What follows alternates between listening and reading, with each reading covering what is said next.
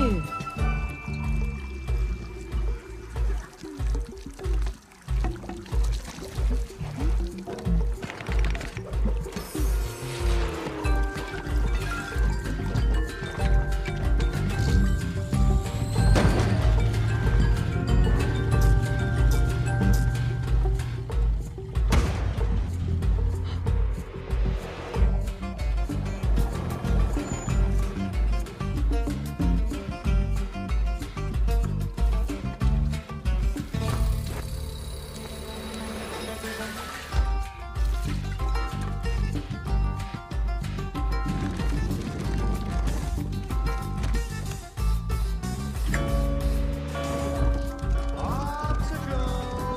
Your popsicles.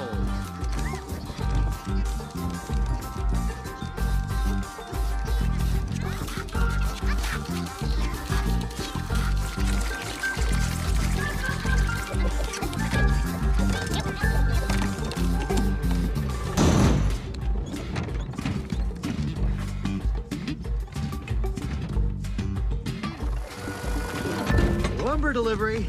What's with the color? The color. Uh, that's redwood. 39, 40. There you go. Way to work that diaper, big guy. Hey, no kiss bye-bye for daddy? You kiss me tomorrow, I'll bite your face off.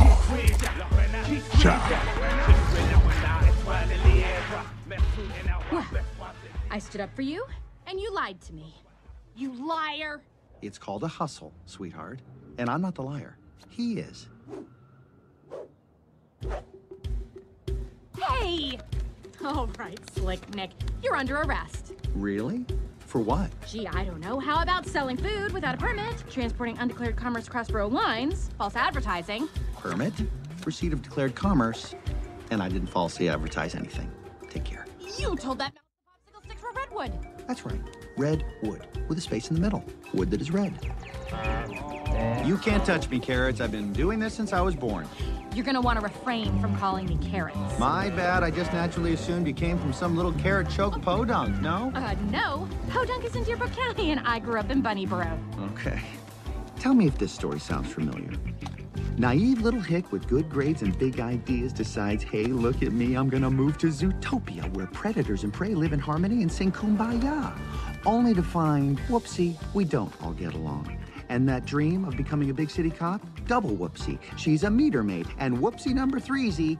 No one cares about her or her dreams. And soon enough, those dreams die, and our bunny sinks into emotional and literal squalor, living in a box under a bridge. Till finally, she has no choice but to go back home with that cute, fuzzy, wuzzy little tail between her legs to become. You're from Bunnyburrow, is that what you said? So, how about a carrot farmer? That sound about right?